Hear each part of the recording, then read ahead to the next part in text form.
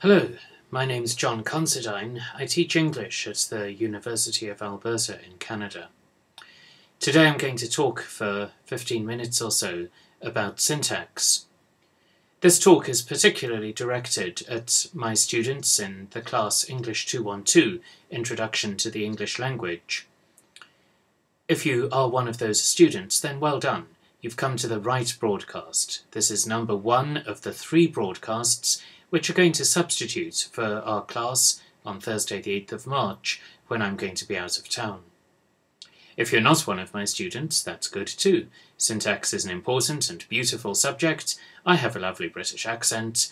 You're going to learn about a very central part of human life in an extremely pleasurable and life enhancing way. Let me begin.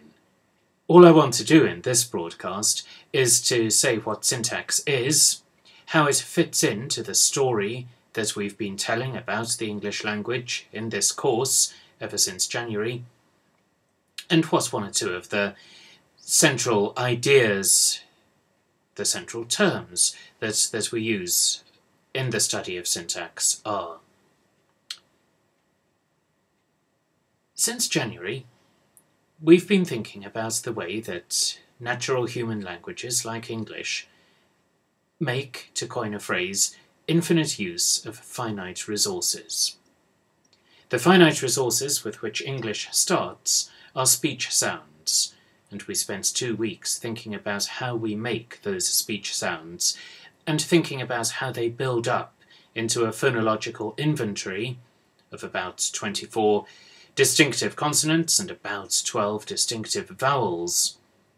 This phonological inventory is the foundation of, of all of spoken English. Those vowels and consonants build up, following the phonological rules of English, into syllables. There are rules for how they can combine with each other to make a syllable and how they can't. Once we're looking at syllables, we see that some syllables do actually mean things. Mean, for instance, or thing. Sometimes a combination of two or three syllables means a single thing.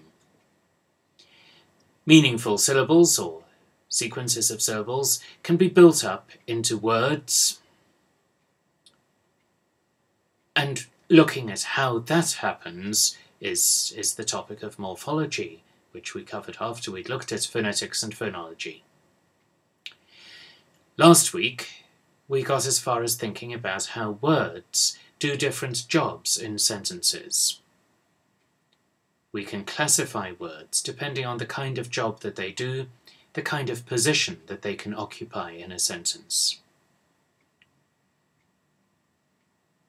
There are about 36 phonemes in the phonological inventory of English. I suppose there must be one or two thousand syllables used in English. There's something between half a million and two million words in the English language, depending on how you want to define a word. But the way that the English language is actually infinite, how it actually makes infinite use of finite means, depends on syntax. Those half million or million or two million words can be combined and recombined in an infinite number of sequences, and that truly is an infinite number. It's a syntax that makes that combination happen, or you could say syntax is the discipline in which we describe that combination. Syntax means putting things together. A synagogue is a place where people come together for worship. A symposium, notice that it's symposium with an M, which assimilates to the P after it. Um, a symposium is when you get together with people to drink.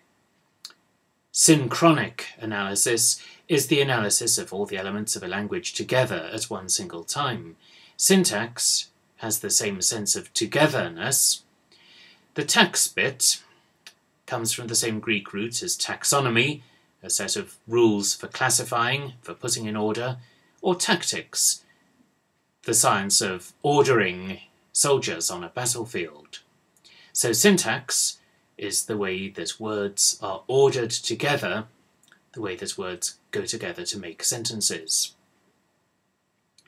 As soon as we talk about words being ordered together, we're getting to the heart of something that makes syntax human.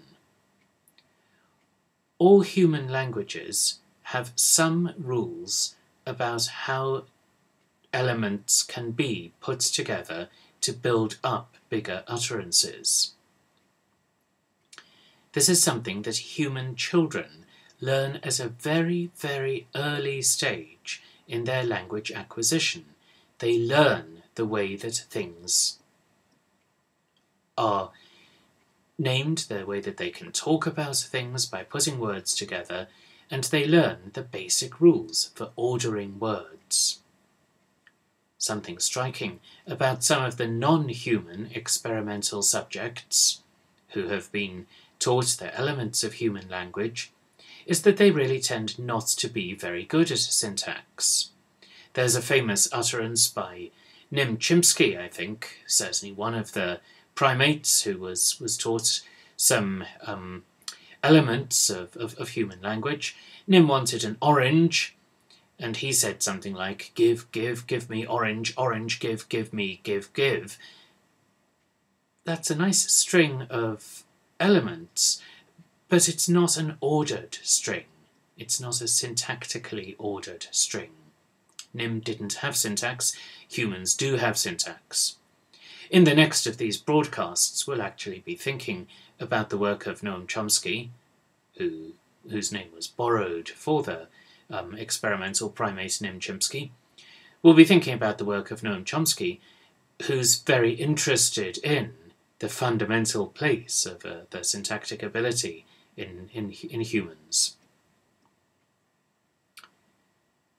What gets ordered in syntax?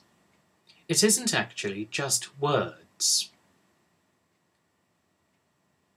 Rather than stringing individual words together in sentences, we build sentences up out of smaller units, out of so called constituents.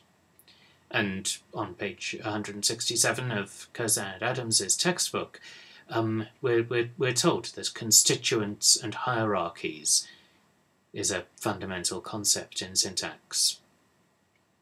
It's because we build sentences up out of constituents that we can think about so called garden path sentences, sentences that lead you in one direction and then turn out to mean something else, of the sort which Curzan and Adams present at the very beginning of chapter 6. In a sentence like, the horse raced past the barn fell, as we listen to that sentence, as we try to make sense of it, we try to group the words together into a meaningful set, into a meaningful constituent of the unit, a, a meaningful constituent of the sentence. We see the horse raced past the barn, and we say, aha, this looks familiar. The horse, determiner and noun, Raced, that's what it did. Past the barn, that's how it raced. And then we actually get to the word fell, and we say this doesn't make sense as a sentence. And we go back and figure out that it must mean the horse raced past the barn, the horse which had been raced past the barn, fell. That the basic sentence is the horse fell, and raced past the barn is a phrase dropped in um, after the subject of the sentence to describe the subject. When we make that sort of sense of subjects, we're making sense of the sentence. When we're making that sort of sense of sentences, we're making sense of the sentence in terms of its constituents. What are those constituents? We can look at the constituents of a sentence at four levels. First, there's the basic word the, horse, raced, and so on. Words build up into phrases. Do you remember when we were looking at that make believe sentence, the sentence with all those invented words made up by Lord Quirk. Plome the pleekful quotation will be ruggling Polanians unglashably in the writ. We could see, even without the help of punctuation, that some of those words fit together in little groups. We could see that in the writ made sense as a group. We could see that the pleekful quotation made sense as a group. Will be ruggling made sense as a group. We weren't just decoding that sentence word by word, we were decoding it phrase by phrase. Phrase is a slightly vague expression. You could say that any group of words which hangs together is a phrase.